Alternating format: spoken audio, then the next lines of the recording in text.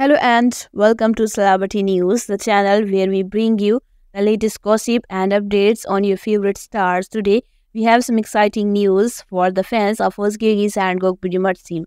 As you may know, Özge and Gökberk were in a long-term relationship until they broke up last year. Aimed rumors of Özge's alleged affair with her new co-star Burak Berkay Akgül.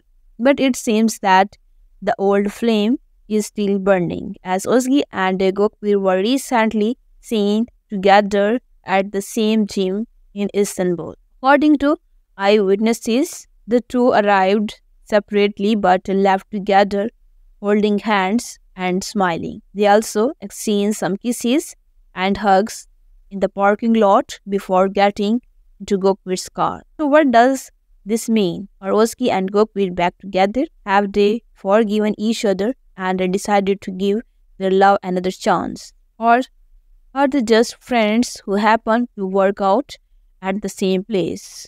We don't know for sure, but we hope that uh, they are happy and wish them all the best. That's all for today's episode of uh, Celebrity News. If you like this video, please give it a thumbs up and subscribe to our channel for more juicy stories. And don't forget to comment below and tell us what you think about Özge and Gökberk's reunion. Do you ship them or not? We did love to hear from you. Until next time, bye.